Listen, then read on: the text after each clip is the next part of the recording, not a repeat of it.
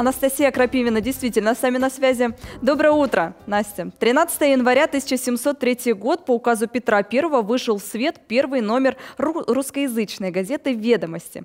Сегодня, в этот день, население России отмечает профессиональный праздник СМИ. Какие печатные издания в вашем городе вы бы, Анастасия, выделили в первую очередь? Делитесь. Доброе утро, Антонина. Самая популярная газета на территории нашего города – это, конечно же, Евпаторийская здравница. И сегодня в нашу студию мы пригласили ее главного редактора Наталью Образцову. Наталья, здравствуйте. Здравствуйте. В первую очередь с профессиональным праздником вас, конечно же. Спасибо большое. А, расскажите, а, как будет развиваться газета в 2020 году? В 2020 мы планируем интегрироваться в интернет все больше и, конечно же, реализовывать те проекты, которые мы уже начали в прошлом году. Я знаю, что в интернете Патрийская здравница находится достаточно давно.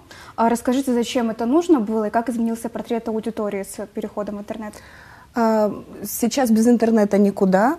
И портрет аудитории изменился, помолодела аудитория, э, молодежь читает, мы задаем вопросы, проводим опросы, э, конкурсы, люди участвуют, это приятно, и постепенно набираем обороты. То есть появился какой-то такой интерактив, живое общение, да. что, в принципе, для газеты не особо свойственно.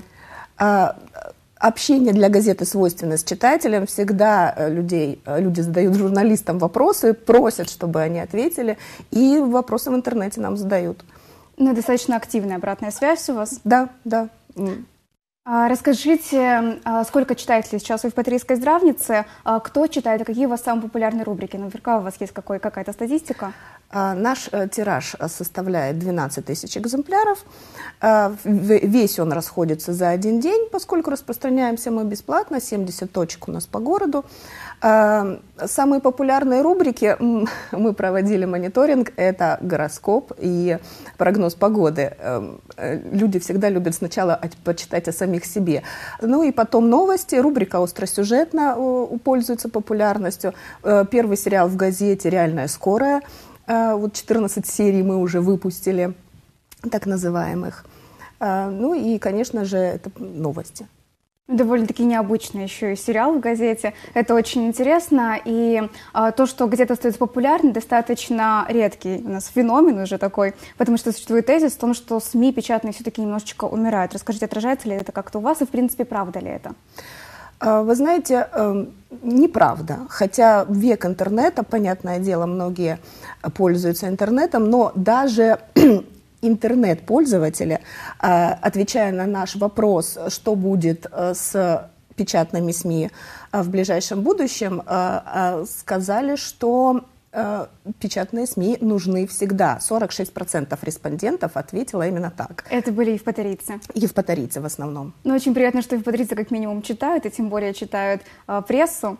А, расскажите, какие у вас, а, может быть, новые рубрики будут? Что интересного планируете? А, прежде всего, мы планируем продолжать э, проект, начатый в прошлом году. Это информационная аналитическая вкладка по итогам месяца.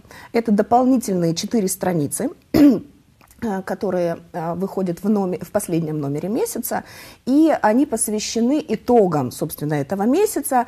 Там есть несколько рубрик эм, рейтинг Евпаторийской здравницы, в котором мы а, освещаем события месяца, достижения, провал месяца. Есть у нас разные номинации. А, есть а, ответы на неудобные вопросы а, главе города, главе администрации. А, наши читатели задают вопросы, а, и мы выбираем самые острые из них, а, и главы отвечают. А рейтинг – это рейтинг редакции или рейтинг жителей в Патории? Это рейтинг редакции. Журналисты сами определяют события месяца и любую другую номинацию. Мне всегда было интересно, как проходит планерка в печатном СМИ. Как вы определяете, на какие темы будете писать? Журналисты приходят к вам с какими-то идеями или есть, допустим, что-то уже заготовленное заранее? Ну, это такой комплекс. Мы и в интернете смотрим острые темы. У нас есть специальная рубрика «Город онлайн». Мы берем вопрос из интернета и освещаем его в газете. И жители нам звонят, и журналисты сами предлагают. И у меня иногда есть какие-то идеи. То есть это такой комплекс все-таки. Часто приходится писать статьи по просьбе жителей, может какие-то расследования есть, что-нибудь? Часто, часто просят разъяснять, просят э, по старинке, приедьте, сфотографируйте, и нам обязательно починят, э, и в подвал, и на крышу, э, разные есть э, обращения. Но мы стараемся по, по мере возможности обращаться, разъяснять и задавать вопросы компетентным лицам. А согласны ли вы с тем, что СМИ – это четвертая власть, и чувствуете ли это в нашем муниципалитете? Э, чувствую. Чувствую, потому что газету читают, есть отклики, э, есть даже некоторые споры, иногда читатели не согласны с позицией журналиста. Э, и в любом случае мы несем информацию и, и, и влияем каким-то образом на то или иное. Может мнение. быть, удается иногда помогать вот не словом, а делом? Удается. Есть какой-нибудь яркий пример? А, ну, может быть, не яркий, но э, тот пример, за который были очень благодарны, а, в одном месте города не было дорожки. То есть э, это не масштабно, да, но э, благодарность читателей была очень большая.